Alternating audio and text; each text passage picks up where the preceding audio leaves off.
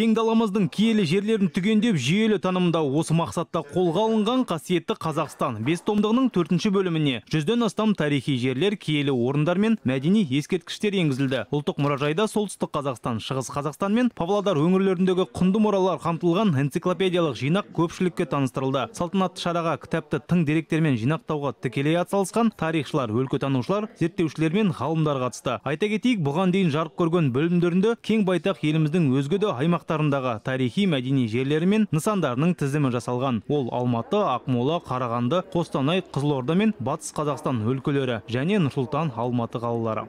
Четвертый том.